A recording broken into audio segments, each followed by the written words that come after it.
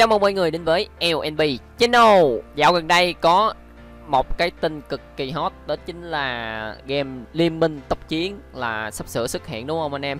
Nên là rất là nhiều anh em tìm cách mà anh em tạo tài khoản QQ Đó, mình đã từng làm một cái video hướng dẫn anh em cách tạo tài khoản QQ Anh em có thể xem, hướng dẫn. Đây, mình đã làm hồi lúc đầu tháng này, Ngày 1 tháng 10 anh em xem.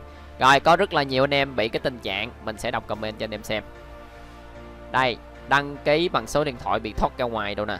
Đó mình đọc cực kỳ nhiều comment của anh em mình giải thích uh, cho anh em cách làm. Rồi cái mình cũng có chia sẻ cho anh em múi giờ làm là từ 6 giờ sáng hoặc là 9 giờ sáng. Ở từ 6 giờ sáng đến 9 giờ sáng anh em có thể tạo cái tài khoản QQ này. Và anh em bị một cái tình trạng thứ nhất là anh em không tạo được tài khoản. Nó bị gặp gền ở chỗ này đây anh em ơi.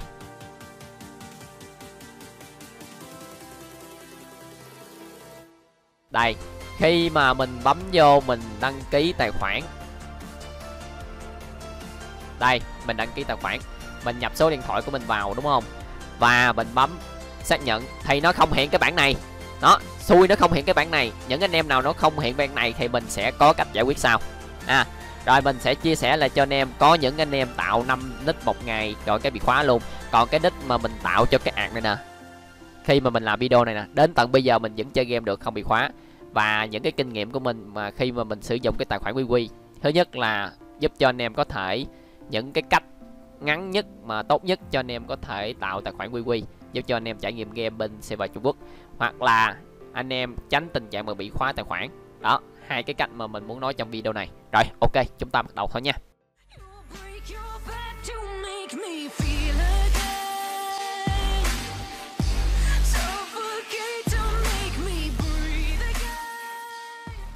Rồi ok, trong cái phần mô tả mình có để một cái đường link để giúp cho anh em tải cái QQ International. Đây là một cái đường link để giúp cho anh em tạo tài khoản QQ International là tài khoản QQ quốc tế đó anh em ơi. Đầu tiên thì chúng ta bấm vào cái chữ sign up ở góc bên phải. Sau đó anh em lựa chọn cái số điện thoại ở Việt Nam. Hiện tại ở bên China là cộng 86, Việt Nam là cộng 84. Anh em bấm vô, kéo xuống một ở dưới luôn. Rồi anh em điền số 0 vào rồi, điện số điện thoại của anh em vào. Cái này là mình bảo mật cái số điện thoại của mình nên mình che lại nha bà con. Đó, đây là cái vấn đề thứ nhất anh em gặp rất là nhiều. Nó không có hiện ra cái bảng mà để gửi tin nhắn cho chúng ta. Vậy phải làm sao? Chúng ta bấm vào cái mũi tên ở bên trên góc trái, bấm về. Rồi chúng ta bấm nét lại và confirm lại. Cứ như vậy đó bây giờ mình hên quá thì mình vô được. Đó, anh em cứ làm như vậy như vậy. Trong khung giờ buổi sáng, từ 6 giờ sáng đến 9 sáng 10 sáng gì đó này tùy anh em nha, tại vì bình thường tạo bình thường thức dậy vào lúc 8 9 giờ sáng thì mình tạo thử cho anh em trong cái tài khoản này. Đó, và vô tình thì nó gửi lại cho mình luôn. Đó, khá là may mắn. Hy vọng là đây là một cái cách giúp cho anh em có thể tạo thành công cái tài khoản. Đây là cách đầu tiên giúp cho anh em tạo thành công cái tài khoản. Rồi bây giờ chúng ta chỉ cần chờ nó gửi tin nhắn về và chúng ta bắt đầu. Vô. Nó sẽ cho mình một id của wiwi cái này thì nó ghi à, phải giữ cẩn thận thì mình sẽ che lại. Đó mất công lắm anh em ơi. Anh em không cảm nha rồi, chúng ta bắt đầu get started thôi. Rồi, ok, xong cái phần tạo tài khoản. Cái thứ hai gặp phải, đó chính là gì? Đó chính là anh em bảo mật tài khoản như thế nào, đúng không? Rồi, chúng ta bảo mật tài khoản, chúng ta tạo một cái mật khẩu dành cho ông quy quy hoặc là một cái tình trạng gọi là anh em bị khóa tài khoản sau vài ngày có người tạo à, 5 ạc hay 6 ạc gì đó rồi người ta bị khóa luôn. Lúc đó chúng ta sẽ làm gì? Ok bây giờ chúng ta bắt đầu tiếp tục nha. Rồi ok tạo tài khoản QQ xong rồi thì chúng ta sẽ làm gì nữa? Chúng ta sẽ download một cái app QQ app chính thống của bên à, uh, QQ đó anh em. Anh em vào CH Play đó, anh em gõ chữ QQ anh em download nó về thì anh em xem tiếp cái video của mình nha. Cái video à, mà mình hướng dẫn tạo tài khoản QQ á. Sau khi mà mình cài đặt xong hết trơn rồi, mình sẽ đăng nhập vào QQ ok, đăng nhập đúng không? Anh em có thể xem lại cái video cũ của mình để cho có thể nhìn rõ hơn nha. Mình sẽ cho anh em xem ở trên đây luôn, cho anh em đỡ mất công qua lại mệt lắm. Sau khi mà mình khởi động cái QQ vào, thì mình sẽ bấm vào bên trái. Thấy chưa? Rồi, ok. Rồi, nhấn vô cái nút. Đó, nhấn vô. Rồi, sau đó anh em chọn cái dòng thứ hai để cho nó gửi cái mã xác nhận vào cái số điện thoại của anh em. Ban đầu mình không có mật khẩu nên là mình đâu có cài đặt được đâu, đúng không? Rồi, ok, mình sẽ bấm vô cái này nha. Đó, anh em nhập số điện thoại của anh em vào. Số điện thoại mà anh em mới đăng ký thành công vào đó. Ok nhập xong rồi thì mình cứ đăng nhập vào thôi. Rồi, cái khúc này là xong rồi nha bà con. Xong cái khúc đăng nhập vào quy nha. Rồi mình sẽ qua cái giai đoạn của mình đây. Rồi, vô cái quy nha bà con. Đó, vô cái quy rồi, bấm hình ở trên nè, cái biểu tượng mình nè. Đó, bấm vô. Rồi, sau đó mình sẽ lựa chọn theo cái này. Đó, bỏ bút dưới á. Anh em nhớ làm theo những cái mà mình thao tác như vậy sau khi mà mình bấm vô cái dòng mấy hồi nãy á, là mình sẽ thoát ra ngoài. Thoát ra ngoài thì mình không có mật khẩu nó sẽ yêu cầu mình bấm vô mật khẩu. Mình bấm mật khẩu xong thì mình sẽ ok mình đã tạo xong mật khẩu rồi đó.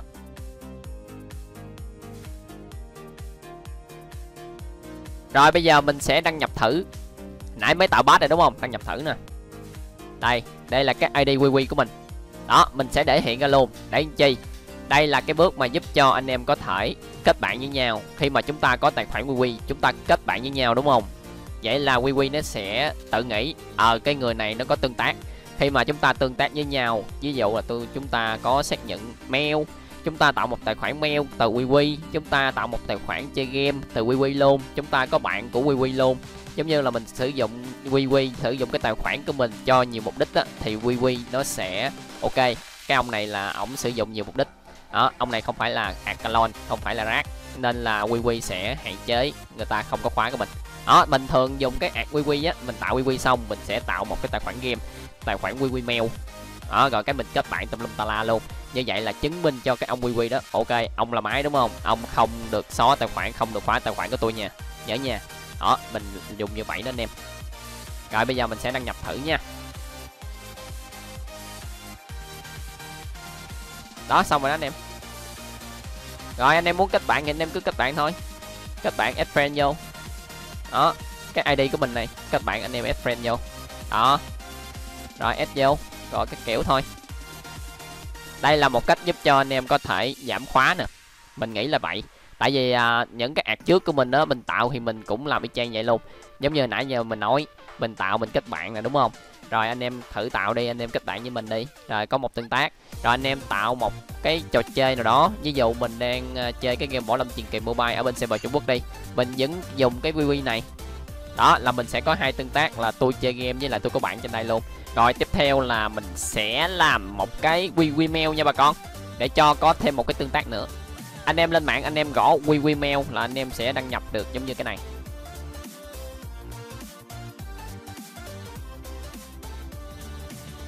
Anh em đã đăng nhập vào cái QQ bên Trung Quốc, đúng không? Cái này QQ bên Trung Quốc nha, chứ không phải QQ International đâu. Và mình bắt đầu xác nhận thôi. Đó, tôi vào được một game.